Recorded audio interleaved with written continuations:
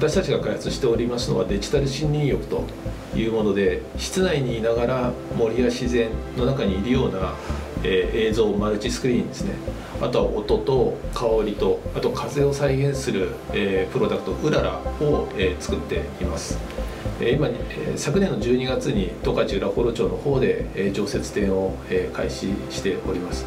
あと2月には銀座でも期間限定の、施設をオープンいたしました。重要なのはお客様にその森や自然の中にいるような没入感を感じていただくというようなことを非常に重要視しています。でその中で今回、えー、富士フィルムの FPZ5000 を採用させていただきました。一番の決め手はですね、超単焦点で、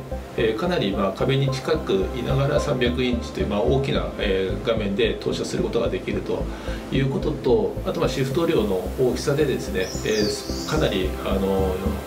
そのま場所に応じてですねプロジェクターの位置を設置することができるというような柔軟性も非常に魅力的だというふうに思いました。